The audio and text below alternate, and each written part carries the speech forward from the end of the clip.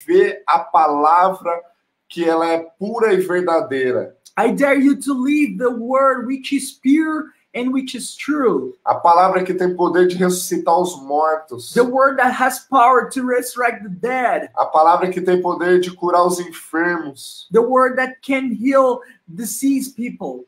A palavra que tem poder de mudar a história de uma pessoa de um dia para o outro. The word which has power to change a person's history from one day to another.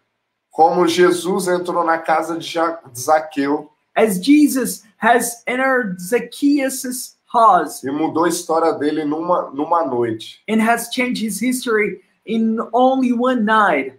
Aonde ele chegou nessa casa Where he got to this house e aquele homem foi transformado pela presença de Jesus Cristo. And that man was transformed by the presence of Jesus Christ. Eu quero declarar que a presença de Jesus Cristo vai transformar a tua família. I want to declare that the presence of Jesus Christ will transform your family. Eu quero declarar que o Espírito Santo de Deus venha entrar sobre as casas, I want to declare that the Holy Spirit will enter on the houses. que o Espírito Santo de Deus venha tocar a sua vida nesse momento, May the Holy Spirit touch your life right now in this moment.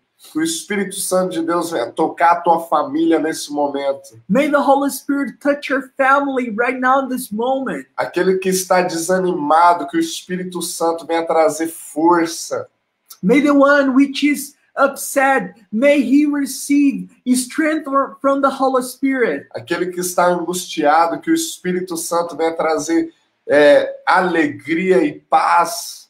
May the one who is feeling upset and anguish, may he receive peace right now from the Holy Spirit. Aquele que não tem a provisão, eu quero declarar: a provisão vai chegar sobre a tua casa. May the